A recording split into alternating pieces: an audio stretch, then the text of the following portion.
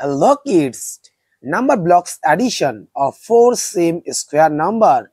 Let's play the video. 25 plus 25 plus 25 plus 25 is equal 100.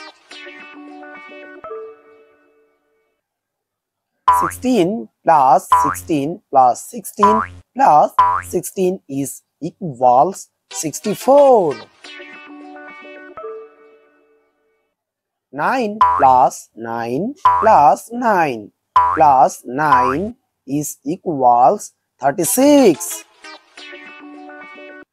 4 plus 4 plus 4 plus 4 is equals 16. 36 plus 36 plus 36 plus 36 is equals 144.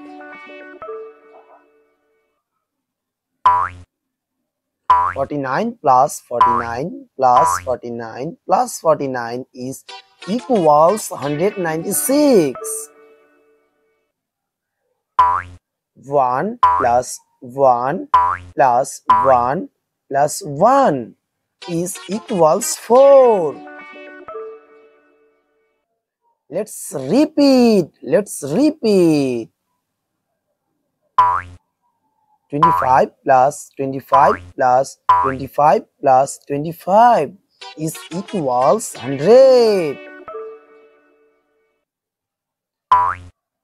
16 plus 16 plus 16 plus 16 is equals 64.